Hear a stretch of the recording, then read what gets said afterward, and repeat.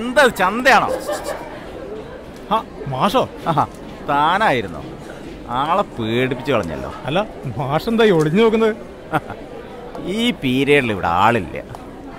ഈ സ്കൂളിലെ ഏറ്റവും വലിയ വില്ലന്മാരുടെ ക്ലാസ്സാ. ഞാൻ കയറി പറഞ്ഞിട്ടടക്കം. ഒരു രക്ഷയില്ല. ഇപ്പം കലാഭവമണിന്റെ പാട്ട് ഇങ്ങനെ തിമിർക്കുക. ആ അനുഗ്രഹീത കലാകാരൻ ആരാ നോക്കിയതാ ഞാൻ. ഓ അങ്ങനെ. നമ്മളെ പോലത്തെ വില്ലന്മാര് കുറ്റേറ്റ് പോയിട്ടില്ല. പണ്ടത്തെ വില്ലത്തരൊക്കെ മാറിയില്ലടോ. പണ്ടത്തെ മാവും മാമക്കേറിലും മാക്കേറിയിലുണ്ടോ അപ്പൊ ഓൺലൈൻ അല്ലേ മാഷേ സ്കൂളിന്റെ മുഖച്ച ആകെ മാറിപ്പോയല്ലോ. ഒരു കുട്ടിയായിട്ട് വീണ്ടും ഇവിടെ വന്നിരുന്ന് പഠിക്കാൻ തോന്നിപ്പോവാ. എന്നിട്ടാണ് എന്റെ ശല്യം കൂടി ഞാൻ സഹിക്കാൻ. എടോ ഞാൻ ഈ വർഷം കൂടി ഇവിടെ ഉള്ളൂ. അടുത്ത വർഷം ഈ പടികൾ ഇറങ്ങുക. മാഷെ റിട്ടയർ ചെയ്യാനായോ? പക്ഷെ മാഷെ കണ്ടാൽ ഒരു അമ്പത് വയസ്സേ തോന്നിക്കും. മോനെ ജയ വാദ്യർക്ക് ടാജര് വിളിക്കല്ലേ? എന്നങ്ങോട്ട് വരുന്നത്. ഒരാഴ്ച കഴിയും ഇരിക്കു ചെയ്യാം ഗൗരിയുടെ കാര്യം പറയാനാണ്. കഴിഞ്ഞ വർഷം എട്ടാം ക്ലാസ്സിലായിരുന്നപ്പോൾ അവൾക്ക് എല്ലാത്തിനും നല്ല മാർക്കുണ്ടായിരുന്നു. പക്ഷെ ഒമ്പതാം ക്ലാസ് എത്തിയപ്പോൾ ആകെ തകിടം മറഞ്ഞത് ജയ. ഫസ്റ്റ് ടൈം പരീക്ഷ തന്നെ മാർക്ക് വളരെ കുറവാണ്. മൂന്നെണ്ണത്തെ തോൽക്കുകയും ചെയ്തു. അടുത്ത കൊല്ലം പത്താം ക്ലാസ്സിൽ ഫുൾ എ പ്ലസ് പ്രതീക്ഷിക്കുന്ന കുട്ടിയാണ് ഇങ്ങനെ പോയ എങ്ങനെയാ പത്താം ക്ലാസ്സിലേക്ക് ഇടത്തിവിടെ ചെയ്യാ? മാഷേ. ഗൗരിയുടെ ക്ലാസ് മാഷായ ഹരിയും മറ്റു ടീച്ചേഴ്സും ആകെ അന്തം വിട്ടിരിക്കുക ജയനോട് സംസാരിക്കാൻ തന്നെ അവർക്ക് മടി. അതാണ് എന്നെ ഏൽപ്പിച്ചത്. പിന്നെ ജയ സൗഹൃദങ്ങളും അനുകമ്പയും സഹായ സഹകരണങ്ങളൊക്കെ നല്ലത് തന്നെ. പക്ഷെ സ്വന്തം കരിയർ മറന്നുകൊണ്ടാകരുത്. അത് ഗൗരിയോട് പറഞ്ഞ് മനസ്സിലാക്കണം. തീർച്ചയായും മോശേ മോളോട് പറഞ്ഞ് മനസ്സിലാക്കണം. അവൾ പൊക്കത്തുള്ള കുട്ടിയല്ലേ. കാര്യങ്ങൾ പറഞ്ഞാൽ മനസ്സിലാക്കോളൂ നമുക്ക് രക്ഷിതാക്കൾക്ക് വലിയ ഉത്തരവാദിത്തമുണ്ട് ജയ. അവരുടെ വഴികൾ ശരിയാണെങ്കിലും ചിലപ്പോൾ നമ്മുടെ ഒരു ഗൈഡൻസ് അതവരുടെ വഴികൾ വളരെ എളുപ്പമാക്കും. ഡിഗ്രി കഴിഞ്ഞ് ഇനി എന്ത് എന്ന് ചിന്തിച്ചിരിക്കുമ്പോൾ അമ്മയാണ് എന്നോട് പറഞ്ഞത്. അധ്യാപക ജോലിയാണ് ഏറ്റവും മാത്രം അമ്മയ്ക്ക് അതിനുമാത്രം വിദ്യാഭ്യാസം ഒന്നും ഉണ്ടായിരുന്നില്ല. എന്തായാലും എന്നെ അത് വല്ലാതെ ചിന്തിപ്പിച്ചു. അതുകൊണ്ടാണ് ഞാൻ ഇന്ന് ഈ മേഖലയിൽ ജോലി ചെയ്യുന്നത്. ഇതില്ലായിരുന്നെങ്കിൽ ഞാൻ എന്താകുമായിരുന്നെന്ന് എനിക്ക് തന്നെ അറിയില്ലായിരുന്നു. ജയനും ഇത്രമാത്രമേ ചെയ്യേണ്ടുള്ളൂ ഒരു ഉപദേശം. അതും രക്ഷിതാക്കളാവുമ്പോൾ കുട്ടികൾക്ക് പെട്ടെന്ന് മനസ്സിലാവും.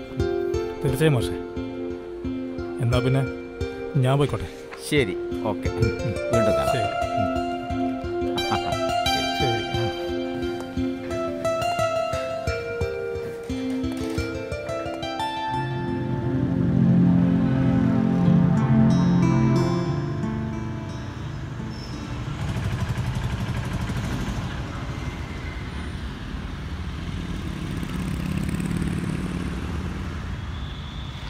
ഒന്ന് വേഗം തള്ളു ഗൗരിയെ. ഇനി മക്കൾ വീട്ടിൽ പോയിക്കോളൂ. ഉപ്പച്ചു പോകുമ്പോഴേ പോണുള്ളൂ. ഉപ്പയ്ക്ക് കുറേ പണിയുണ്ട്.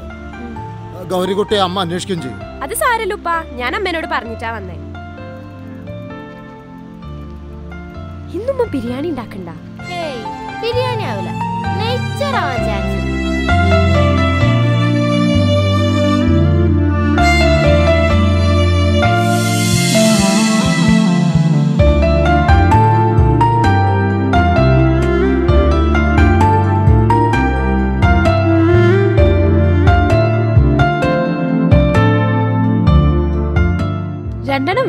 വേണ്ടുപ്പാ ഞങ്ങക്ക് രണ്ടാക്കും കൂടി ഒന്ന് മതി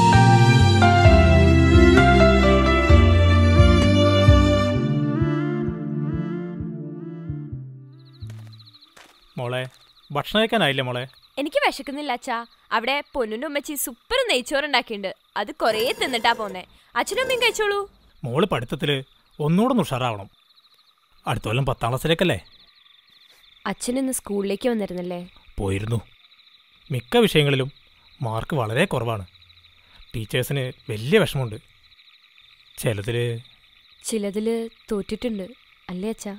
അതെ മോളെ. പക്ഷേ അച്ഛനതിലൊരു വിഷമമില്ല കേട്ടോ എന്റെ മോളത് മാനേജ് ചെയ്യുമെന്ന് അച്ഛന് നന്നായിട്ട് അറിയാം ഇല്ല അച്ഛാ ഈ വർഷം ഞാൻ ജയിക്കുന്നില്ല. ഏ ജയിക്കുന്നില്ലേ? അതെന്താ? ഞാൻ പോയാ? പൊന്നൂര് പിന്നെ ആരാണ്ടാവുക എട്ടിലല്ലേ അവൾ? രണ്ടു കൊല്ലം പാവ ഒറ്റയ്ക്കാവും. ആരും ഉണ്ടാവില്ല അച്ഛാ. അടുത്ത കൊല്ലം ഞാൻ ഒമ്പതിലിരുന്ന് അതിന്റെ അടുത്ത കൊല്ലം പൊന്നുണ്ട് കൂടെ പത്താം ക്ലാസ് എഴുതിക്കോളാം. എന്താടി നീ പറയുന്നേ?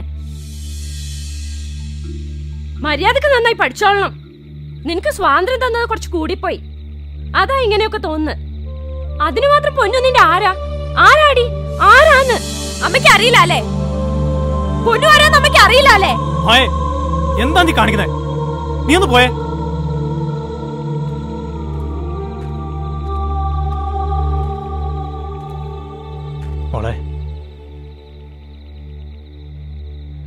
അച്ഛൻ എന്റെ മോളെ ഒന്നും നിർബന്ധിക്കില്ല.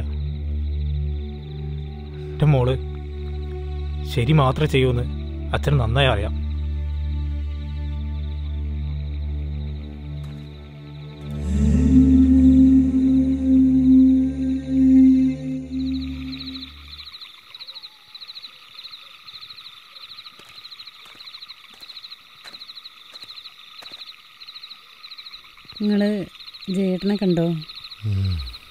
സംസാരിച്ചോ? കണ്ടു.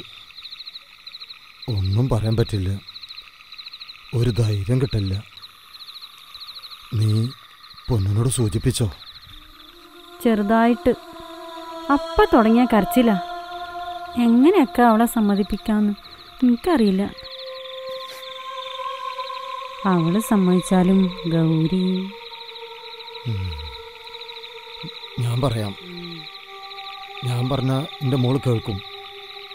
പക്ഷേ ജയനോടെങ്ങനെയാ നമ്മൾ എത്രമാത്രം സ്നേഹിക്കുകയും സഹായിക്കുകയും ചെയ്ത അവനോട് ചെയ്യുന്ന ഒരു തെറ്റല്ലേ? ഒരു ബേജാറ്. ഞാനൊരു വഴി കണ്ടിട്ടുണ്ട് അവനെ കൊണ്ട് സമ്മതിപ്പിക്കാൻ. ഗൗരിമോൾ നല്ല ഭാവിയുള്ള കുട്ടിയാ. നമ്മളായിട്ട് അത് കളയാൻ പാടില്ല. ഇത്രയെങ്കിലും ചെയ്തിട്ടില്ലെങ്കിൽ പടച്ചോ നമ്മളോട് പൊറക്കൂലക്ക.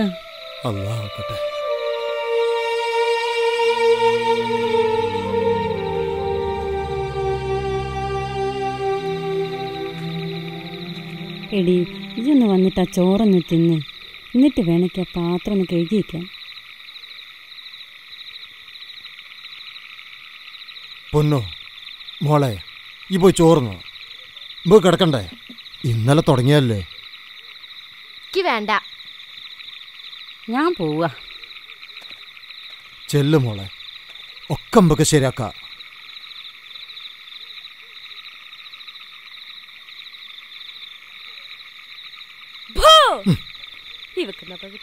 ഇരുട്ടത്തപ്പാന്റെ ഒരു വരവ്. നിങ്ങൾ രണ്ടാളായില്ലേ? ഞാൻ പോയി കിടക്ക. ഓ ഓളിയൊരു പഠിത്തം.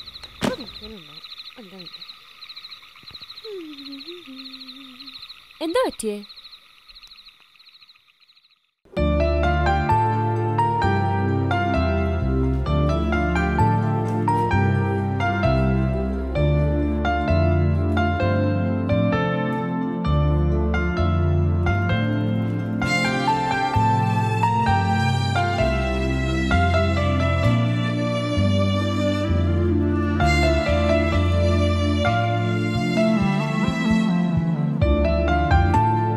മോർണിംഗ് സർ മോർണിംഗ് ബാബ. പുസ്തകം തരാമെന്നാ മാഷേ. ഓ ആയിക്കോട്ടെ.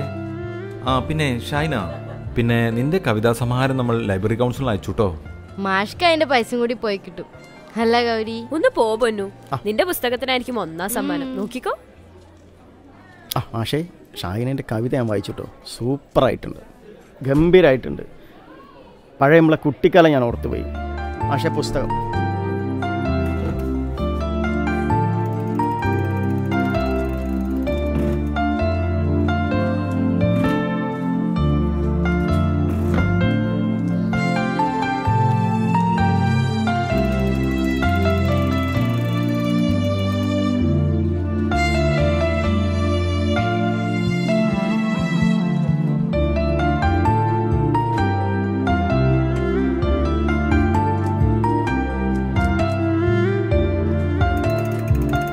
പുസ്തകം എടുക്കാതിരുന്നത് വായന നിർത്തിയോ?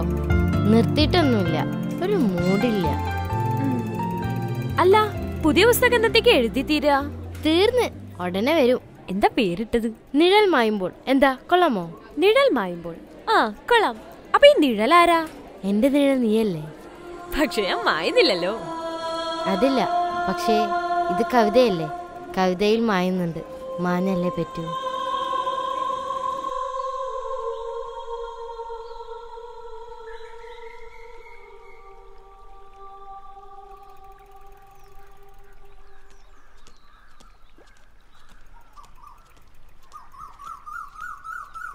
പൊന്നോ വാപ്പയുടെ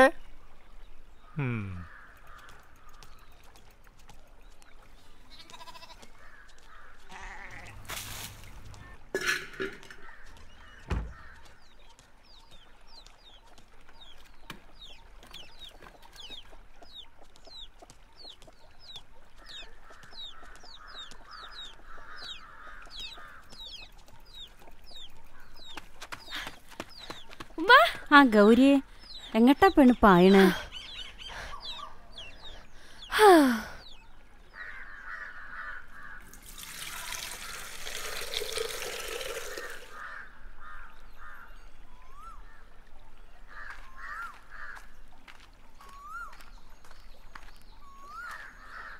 പൊന്നു നീ എന്താ നേരത്തെ അങ്ങനെ പറഞ്ഞേ?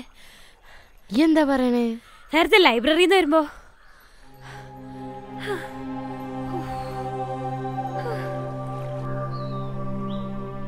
കേൾക്കും. സാറ് പറഞ്ഞ ജയം കേൾക്കും. യാതൊരു സംശയവുമില്ല. ഇവരുടെ ഭാവിയെ ബാധിക്കുന്ന വിഷയമല്ലേ? ഇനി നോക്കിയിട്ട് കാര്യമില്ല മാഷേ.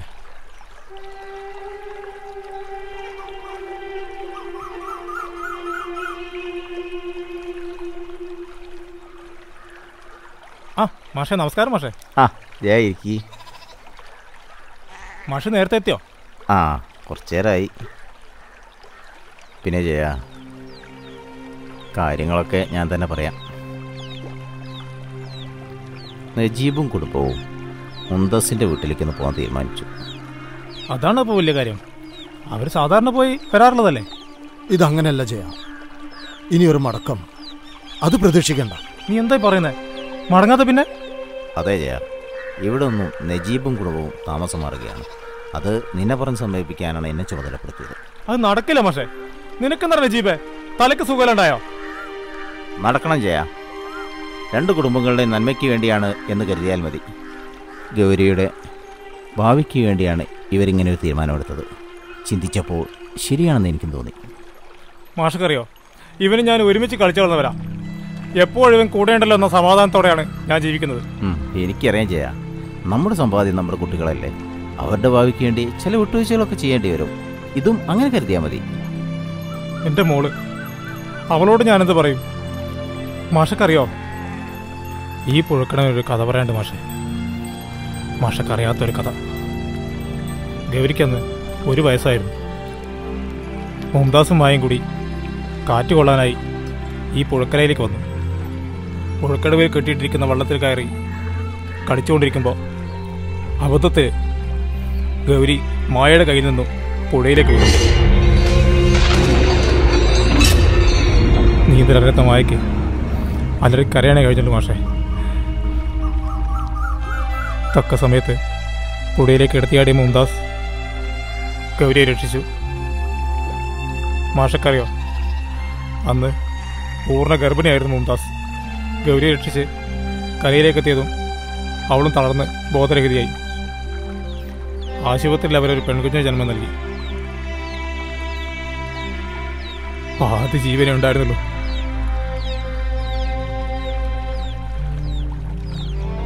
എന്റെ മോളുടെ ജീവൻ രക്ഷിച്ചതിന് വിധി അവൾക്ക് കൊടുത്തത് ഒരു ജന്മം മുഴുവൻ തോരാത്ത കണ്ണീരായിരുന്നു മാഷെ. ആ കുട്ടിയാണ് മാഷെ ഷാഹിന. ഞങ്ങളെ സ്വന്തം പൊന്നു. എന്റെ മോളെ ജീവൻ മുംതാസിന്റെ താരവും കാരുണ്യവുമാണ് മാഷെ.